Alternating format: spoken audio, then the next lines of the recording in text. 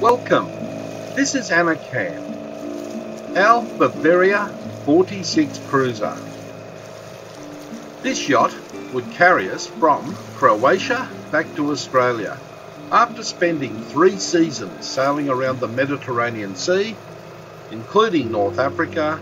We sailed out through the Straits of Gibraltar down to the Canary Islands, across the Atlantic Ocean to spend just over one year in the Caribbean, crossing the Caribbean Sea to transit the Panama Canal.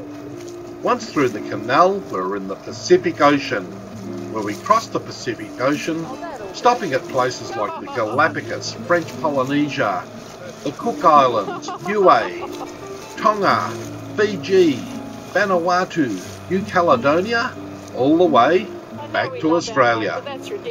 It took us six years to complete approximately 110 full days of sailing. We stopped in 52 different countries. Along the way, meeting some wonderful people on this amazing journey. Here is Annecam.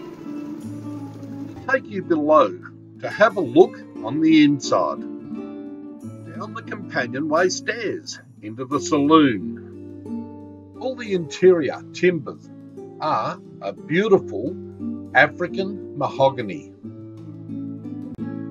This is the portside rear cabin, better known as the cave. And this is the starboard side rear cabin. We affectionately call the Pivo Suite, named after a dear friend of ours, Fiona.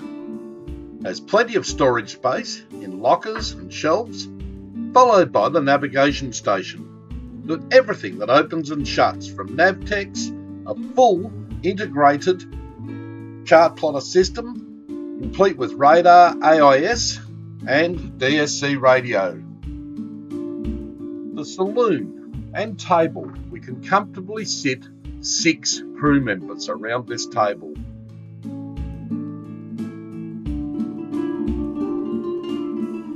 This is the rear portside head, complete with vanity, shower and toilet.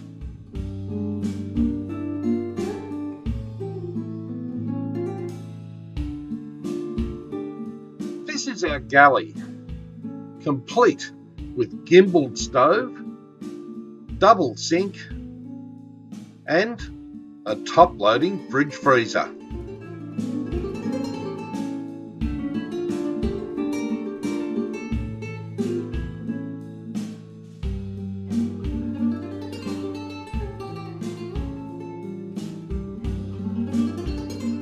Forward up into the stateroom, where we have a full double bed, two forward heads, one with toilet and vanity, and the second head with a shower and vanity. Everything one would need to cruise the world's oceans.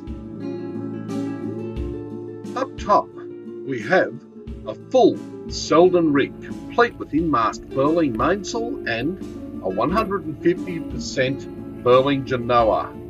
The cockpit is a twin helm layout with all of the controls one could wish for.